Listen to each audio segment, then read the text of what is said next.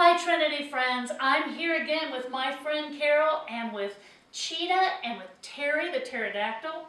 And we're going to keep on talking a little bit more about that story of what happened after Jesus was raised from the dead. And we're going to keep on talking about prayer a little bit because we have lots of questions about prayer. It, you know, all through the week, uh, Terry kept asking me more questions about prayer, and I said, "Well, we're going to keep reading the book, so we're going to we're going to talk about those questions, okay? All right, all right." So here's the story.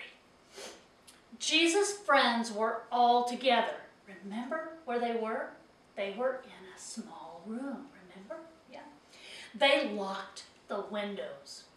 They locked the doors. They were afraid.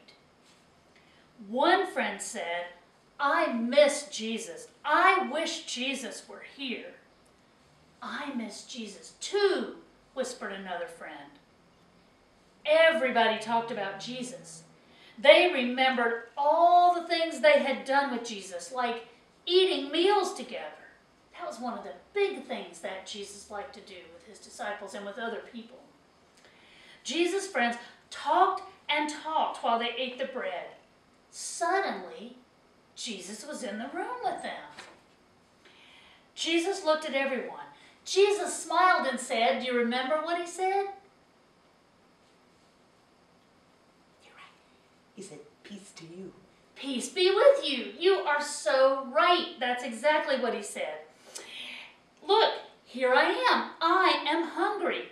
Jesus' friends were so happy to see him again. They laughed they shared some bread and some fish. Then Jesus said to his friends, Go out and tell everyone that God loves them. Tell people here, tell people there, tell people the good news. Tell people to live in God's way. Then suddenly, Jesus was gone again. Jesus' friends looked at each other. Let's go, they shouted. And down the stairs they ran. They would tell everyone about God's love. Wow. Where did Jesus go? Jesus just disappeared from, from among them, but they would see him again. They would see him again. Yeah, yeah. Okay, so here we go. We are again looking at the book Learning About Prayer by Lois Rock and Maureen Galvani. And I'm going to read the introduction again, and then we're going to look at some different questions than the ones we looked at last week. What is prayer? Prayer means spending time with God. When you spend time with a friend, you often talk. You also listen. Sometimes you just sit quietly together. We believe that praying to God is like that. It is like being with a very special kind of friend.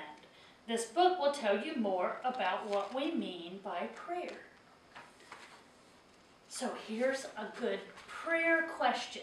Who is prayer said to? Hmm. When we pray, we pray to God. Sometimes we begin as if we are speaking to a grand person. Oh God. Sometimes we begin in the same way that people begin a letter. Now, how do you begin a letter? Dear God. That's how you begin a letter. Dear Sally. Dear Mom. You know, that's how you start a letter. And sometimes that's how people start prayer. Dear God. Sometimes we use a title. Words that say something about who God is.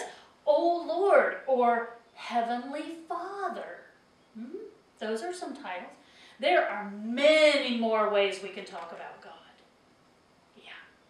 Sometimes we begin with whatever we really want to say, and we believe that God will hear us. We speak to God in prayer with respect and trust. So, respect means when we say, Dear God, we know that we are talking to someone very, very important. And we trust because this story tells us that God loves everyone.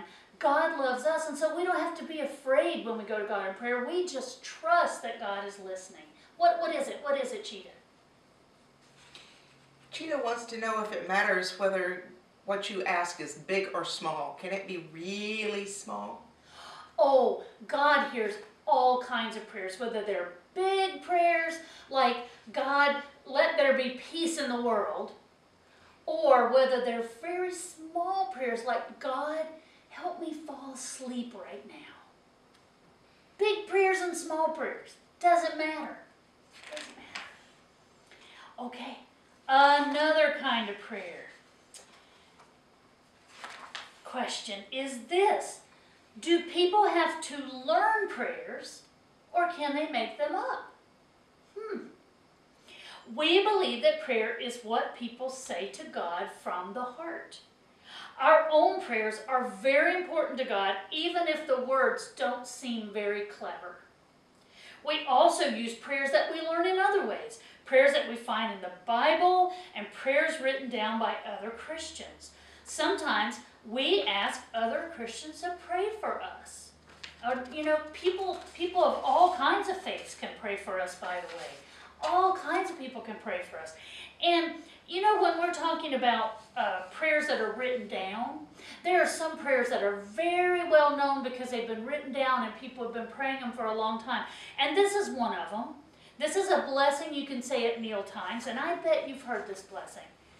Thank you for the world so sweet. Thank you for the food we eat. Thank you for the birds that sing. Thank you, God, for everything. Amen. Mine too.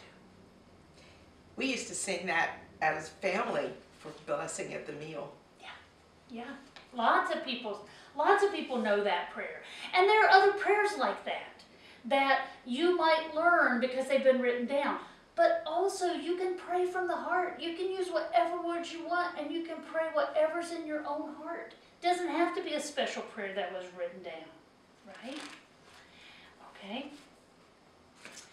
And remember, we learned last week that we do not have to sit in a special way.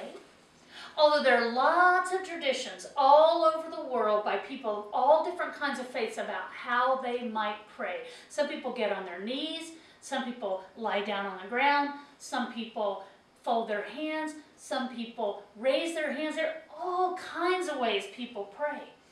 Uh, but we learned a little bit last week about breath prayers, and we learned a little bit about using bubbles for prayer. And we're going to use bubbles for prayer again today. And remember, it's just getting nice outside, and you can go outside and you can stay distant and you can blow bubbles to your heart's content. And what I want you to think about when you blow these bubbles this week is it's just a special way of seeing prayer. And I want you to think of each bubble as a prayer. Think of each bubble as a prayer. And as they pop, think about those prayers going up to God. And as you blow bubbles and think about prayer like that, you might think of some prayers that you want those bubbles to be. Like if you see a prayer, you might say, God, I pray for my teachers. Or I pray for my friends. Or I thank you for the world. Or whatever prayer you have. And think of each of those bubbles as a prayer and watch them as they pop and go up to God. One more. Ah, that's a big prayer right there. That's a big one. Yes, yes. Okay, so I love that we are learning all of these fantastic ways to pray. We're going to keep talking about prayer next week. We've, there are more questions in the book that we're going to look at. But right now, we're going to sing that song again. Yes, what is it? What is it? Cheetah's got one more question. Yeah? He says that some of his friends use a different name. They call the person they pray to, Allah or Jehovah, are they still praying to God? They are praying to God. Allah is a word that means Father, same way that we call that Jesus called God Father. And so there are lots of different ways. You remember when we talked about how sometimes we talk to God with a title? Well, people of all different kinds of faiths and different kinds of ways of understanding God have titles that they use for God too. And so we are praying to God when we listen, when we when we hear those uh, titles. We know that they are also praying to God, and that they are honoring God's name with those titles, just the same as we are. Thank you for asking that. That is a very good question. Thank you. Thank you. Now, remember, we pray in trust because we know God loves us. And so we're going to sing that song that we learned last week again, when Jesus said, Peace be with you, when he saw the disciples. And here it goes. Peace be with you, peace be with you, trust in me, trust in me. I will always love you, I will always love you. Jesus said, Jesus said. Now we're going to sing it again. Are you ready? Here we go. Peace be with you, peace be with you, trust in me, trust in me. I will always love you, I will always love you. Jesus said, Jesus said. Thank you so much for being with us, and I hope you do some bubble prayers this week. We'll see you soon.